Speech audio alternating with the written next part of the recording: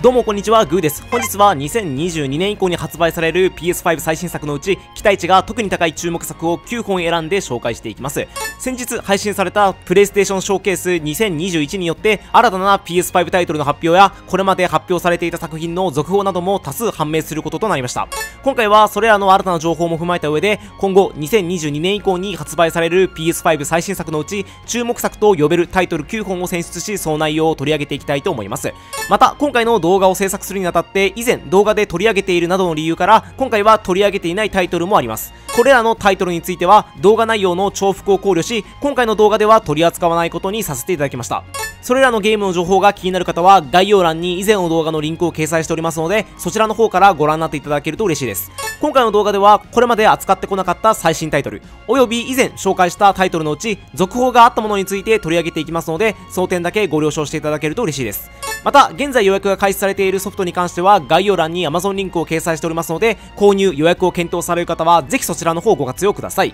このチャンネルでは、プレイステーション系のゲームを中心にゲーム紹介、最新作レビュー、ゲームの歴史解説など様々な動画を上げています。ゲーム好きの方にとって有意義なチャンネルを目指して動画投稿活動をしていますので、動画が面白いと思った方方は、チャンネル登録、高評価よろしくお願いします。それでは本日も張り切ってゲーム紹介やっていきましょう。よろしくお願いします。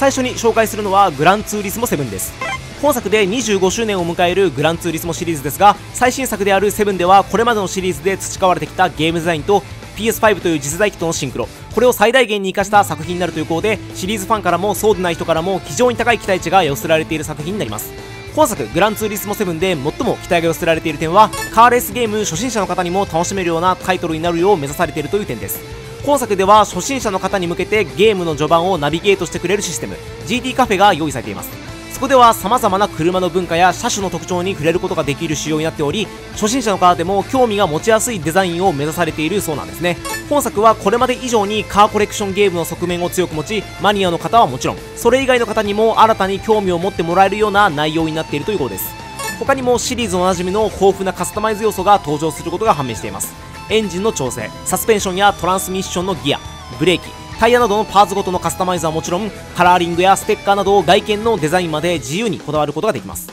自分の思うがままに車をカスタマイズし愛車を作っていく喜びは本作でもさらに増しているのではないかと考えられます。他にも実在するサーキットをそのままゲーム内で遊ぶことができたりシリーズおなじみの時間変化や天候変化などによってレースの雰囲気や仕様が変わるシステムなども登場します。さらに今作では膨大な気象観測データをもとに独自の方法で大気中の粒子の状態や空間時間的な変化も加味された非常にミクロなレベルでのリアリティ表現を追求していることが明かされています。これまでのゲームでは到達できなかった非常に細部まで描き抜かれたグラフィックビジュアルが PS5 という次世代機との融合によって表現されているんです。他にも自分の愛車を思う存分好きな場所好きな状況で撮影できるフォトモード。スケープスでは HDR 技術とレイトレーシングを用いた超高精度のフォトリアル撮影を実現しているなどこれまでのシリーズと比べてもフォトモードに非常に力を入れていることが明かされています。おそらくこれまでのシリーズ史上最もハイクオリティな作品になることも期待できると思いますしファンだけではなく本作から始めてみようという初心者の方にも入りやすい作品になっているかと思います。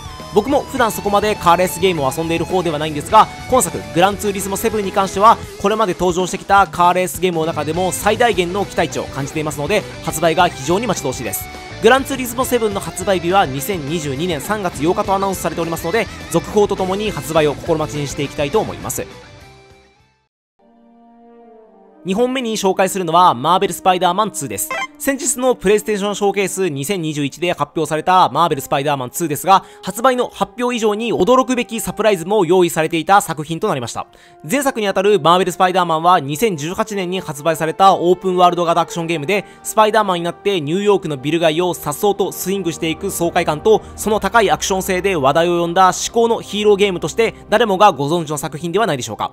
前作、マーベルスパイダーマンでは数多くのヴィランが登場し、死闘を繰り広げることとなったのですが、その終わり方は明らかに続編の存在が示唆されるものとなっていました。そして、スピンオフ作品となるマーベルスパイダーマン、マイルズ・モラレスでは、新たな主人公、マイルズの物語が展開されていくこととなったんです。そして本作、マーベルスパイダーマン2では、ピーター・パーカーとマイルズ・モラレス、2人のスパイダーマンによる物語が描かれていくことになるのは間違いないでしょう。さらに本作、マーベルスパイダーマン2では、スパイダーマンシリーズで最も人気の高いヴィランと言っても過言ではない、ベノムの登場が判明することとなりました。原作中でもスパイダーマンと様々な死闘を繰り広げてきたベノムですが、本作におけるその正体は誰なのか、原作通りエディ・ブロックなのか、はたまた別の誰かなのか、今の段階では非常に気になってしまうところではないでしょうか。他にも前作で死闘を繰り広げたドクター・オクタビアスのその後や新たなヴィランの登場も楽しみな部分でありマーベル・スパイダーマン2の物語には期待に胸を膨らまさずにはいられません。マーベル・スパイダーマン2は2023年の発売を予定されておりおそらくこれから2年ほどの間最も期待される作品の一つとして注目されていくことになるでしょう。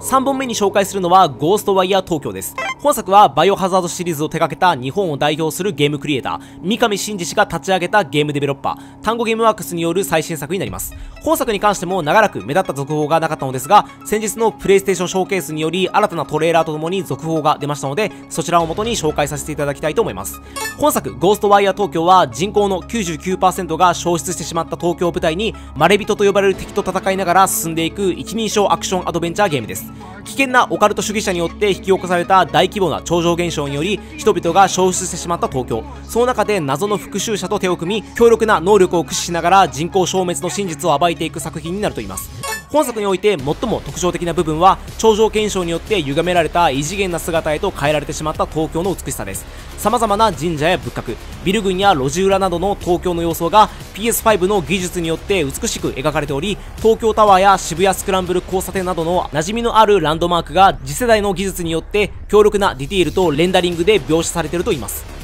実在する東京というフィールドとそこにある非日常。異次元というファンタジー性が絡み合いこれまでにはなかった頂上の世界を体験できる作品になっていると開発者から明かされているんですね。本作のゲームシステムとしては一人称のゲームプレイをもとに頂上世界の元素を扱いながら敵を倒していくアクションアドベンチャーゲームになることが判明しています。プレイヤーは口先女や幽霊など様々な異形の怪物たちを相手にまるで陰陽術のような技を駆使してフィールドを探索し進んでいくことになるんです。その中でどのような超常現象体験や物語が待ち構えているのかその部分に関しては発売後このゲームをプレイして初めてわかることと思いますので本作がどのようなゲームになっているか実際にプレイできる日が今から本当に楽しみで仕方ありません。ゴーストワイヤー東京は以前2021年の発売を予定されていましたが発売が延期され現在は2022年初頭に発売予定であるとアナウンスされています。発売日の確定がまだされていない本作ですが2022年内には発売される可能性が濃厚だと思いますので謎めいた期待感が感じられる今作。発売日の発表を楽しみに待っていきたいところです。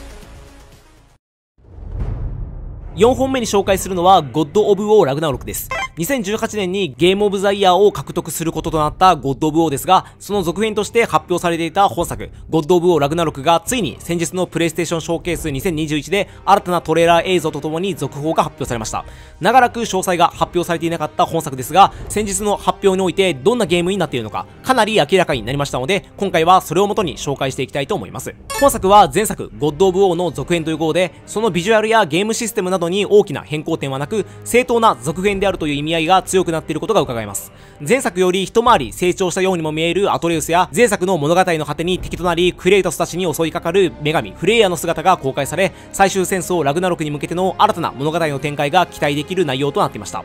他にもトレーラー映像内では巨大な集落のようなフィールドが登場しており新たな武器のカスタマイズやクレイトスアトレウスの強化の場として機能するのではないかと考えられます他にも前作、ゴッド・オブ・ウォーでは行けなかった北欧神話の世界に行くことができたり、前作では戦えなかった神々や怪物たちなどとも戦えることが判明していますので、北欧神話を舞台としたゴッド・オブ・ウォーのゲーム体験に新たな広がりを見せてくれることは間違いないと思います。特に前作で判明したアトレウスの正体や、強力な敵として立ちはだかるであろう雷神トール、そして最終戦争ラグナロクに向けての謎の解明とクレートスたちの運命、それらストーリーへの期待感が非常に高い作品になるのは間違いないと思います。もちろん前作で培われたクレイトスの豪快なアクションや演出、豊富なフィールドの探索要素は健在だと思いますし、前作で完成されたクオリティをしっかりと維持しつつ、新たな物語やアクションが待ち受ける、そんな作品になってほしいと思います。ゴッド・オブ・オー・ラグナルクは2022年の発売を予定されているんですが、本作のディレクターであり、コーリー・バルロク氏によると、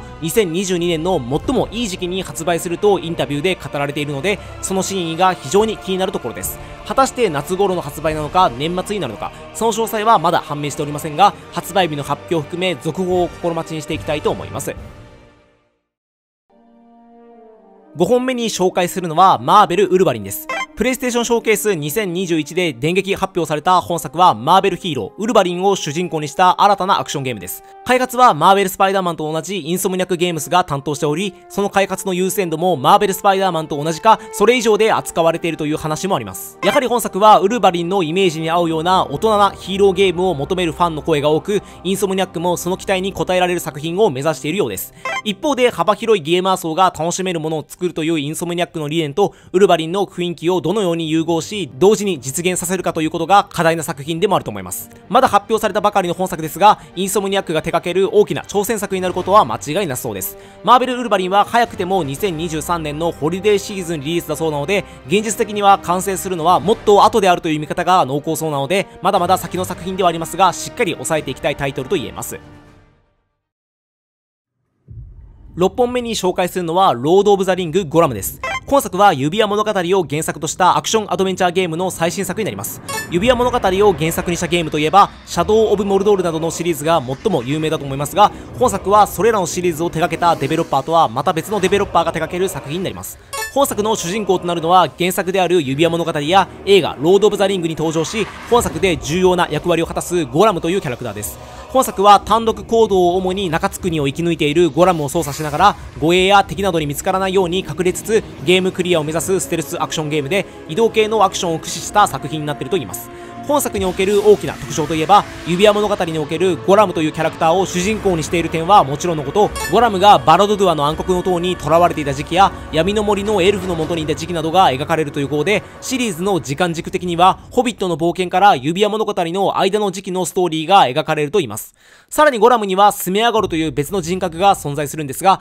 その2つの人格を同居させながらプレイヤーの決断によってゴラムの人格が影響を受けていくという設定も本作では再現されているといいます。その他にも映画「ロード・オブ・ザ・リング」で活躍したガンダルフなどの 3D モデルなども確認されているなどゴラム以外の人気キャラクターも登場することが判明していますので指輪物語好きの人には絶対に外すことができない作品になっていると言えます。個人的にも指輪物語は映画なども含めて非常に好きな作品でありゴラムという戦闘能力をほとんど持たないキャラクターを主人公としながらいかにアクションゲームとしてその完成度を高いものにしていくのかというのが本作において非常に気になる点です。本作はこれまで僕も遊んでいたシャドウオブシリーズとは違うデベロッパーによる開発となりますので、また違う視点や世界観の見方で、新たに指輪物語の世界に触れられることを期待したいです。ロード・オブ・ザ・リング・ゴラムは2022年の発売を予定されており、まだ細かいゲームシステムなどは明かされていませんので、続報に期待したいところです。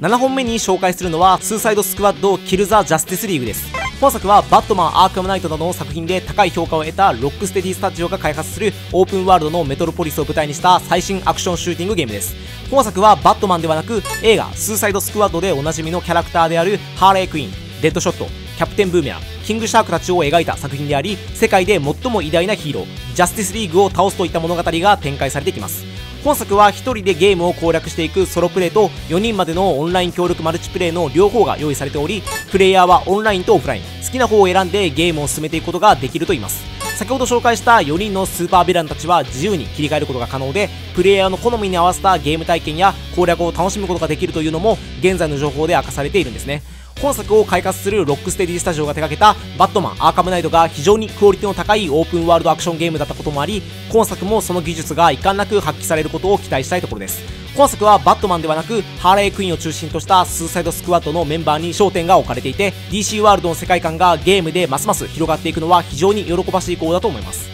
やはり世間的にはマーベル作品のゲームは非常に知名度が高い部分もありますが DC コミックスのゲーム作品も着実に生まれてきていますので両者とも切磋琢磨しながら本作がマーベル作品とはまた違う新しい風を吹き込んでくれることを期待したいと思います。スーサイドスクワッドキルザ・ジャスティスリーグは2022年の発売を予定されていますのでゲーム内容の続報も含めて発売を楽しみにしていきたいと思います。